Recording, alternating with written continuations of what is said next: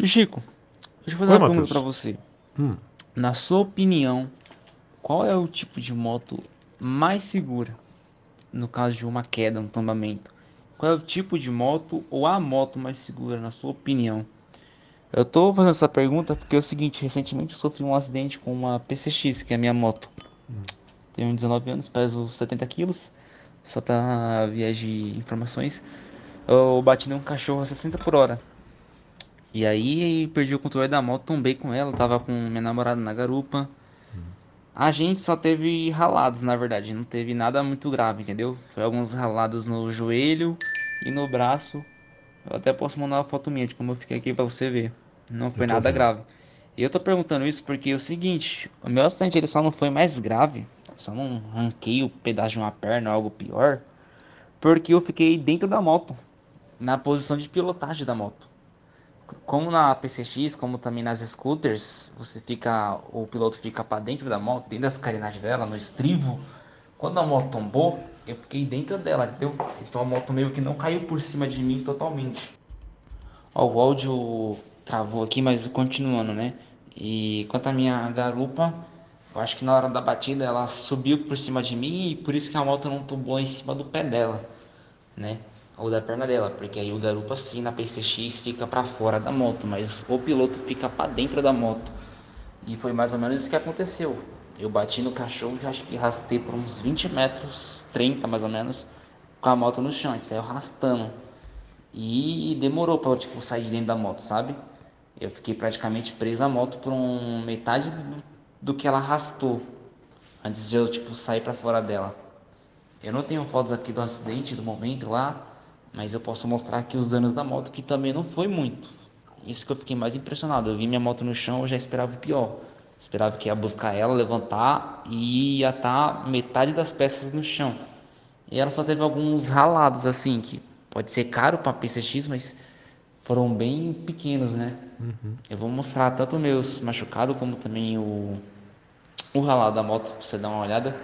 E na minha opinião, né, concluindo que eu puxei o assunto, eu diria que as scooter é as motos mais seguras, entendeu? É minha primeira moto, não tive experiências com outras motos, o máximo que andei foi uma 125 e uma Pop 100, mas é a segunda queda que eu tomo com ela e nas duas aconteceu essa mesma situação, de eu ter ficado dentro da moto. Então eu acredito que tipo, o tipo de moto scooter, ela tem uma proteção maior para o piloto, né? Não que seja seguro, a moto nunca é seguro, né? Em comparação. Mas das que existem, eu acho, eu acredito, né? Minha opinião, não é, não é fato, né? É uma opinião, é uma ideia minha. Sim. Que as scooters são as motos mais seguras. Matheus, um beijão pra você. Que bom que você tá bem, né, cara? Você e sua namorada. Que bom. Ele me mandou aqui as fotos dos, dos arranhões que ele teve. Não foi coisa boba, não. Foi. Teve alguns arranhões aqui. E arranhões que na hora doem bastante. Até, até criar essa, essa cascãozinha aí que você tá na foto, demora. É, eu digo porque eu já me acidentei também dessa forma. E, Matheus, que bom, cara, que deu tudo certo, que bom que vocês estão bem, que bom que é também os danos foram mínimos da moto. Mas eu, eu vou te dizer aqui com a experiência que eu tenho. Nenhuma moto é mais segura do que a outra. Depende muito da situação. Não tem moto mais segura uma outra, ou porque é uma scooter, porque tem essa carenagem, né? Esse escudo frontal e pode proteger mais. Não tem isso, cara. É, Depende muito da situação. Por isso que não existe essa questão de moto mais segura. Você, você, eu preciso te. Eu vi que você ponderou bastante, né? Você foi bem ponderado, bem responsável até no seu pensamento, mas eu vou te dizer com a experiência que eu tenho, e obviamente a minha opinião, não tem moto segura. Depende da situação. E você teve uma situação específica, porque, por exemplo, eu tive um acidente também com a scooter, com essa mesma proteção, e eu quase perdi o meu pé depois. Porque eu, é, por algum motivo, no acidente, que foi uma poça de óleo, o meu pé ele saiu dessa parte interna, dessa parte da, da- da- do piso, e foi para fora e, e comeu toda, toda a lateral do osso do dedo. E eu tive um problema sério de quase perder o meu pé.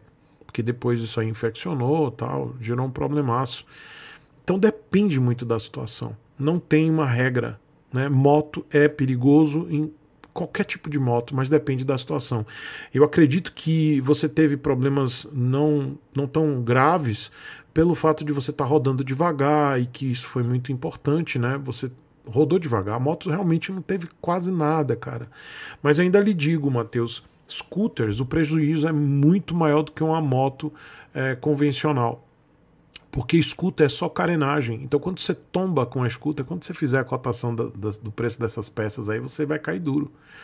Obviamente que você pode levar para um pintor e ele vai lá, ele resolve isso aí, fica zero. Mas se você tiver seguro, você pode entrar em contato com a seguradora e verificar se vale a pena você acionar o seguro para fazer a troca das peças. É uma fortuna. Porque scooter é só plástico, é só carenagem, né? E uma moto convencional, você cai, sai muito mais barato para consertar do que uma scooter.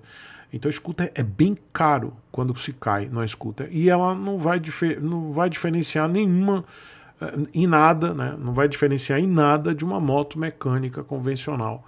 Então é uma questão de situação.